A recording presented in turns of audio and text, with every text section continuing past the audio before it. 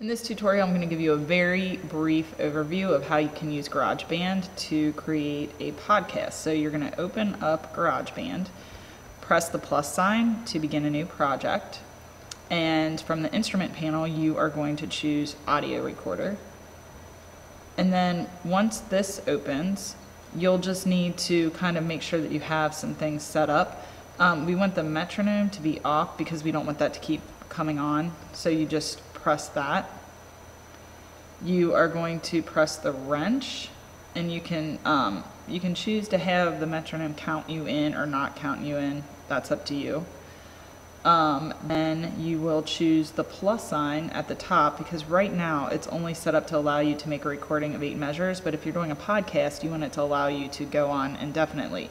So you press the plus sign, press the section, and then you're going to switch your toggle switch when that appears to automatic. And that will allow you to just keep recording indefinitely.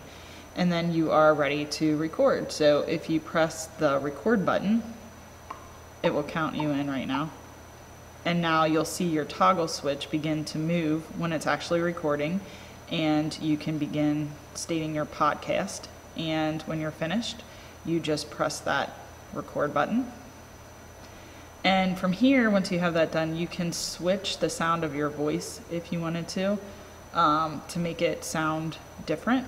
Um, and then if you choose the track button up here,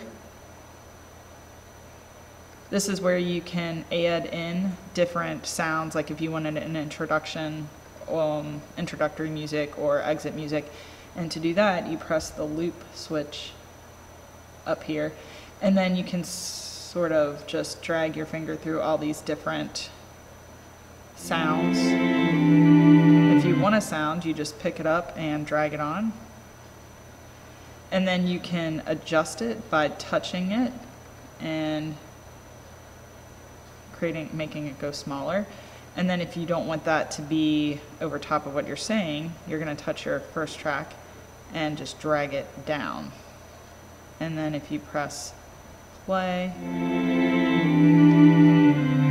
you'll get to see how the whole thing sounds together. And that is just a very brief overview of um, how you can work to create a podcast using um, GarageBand.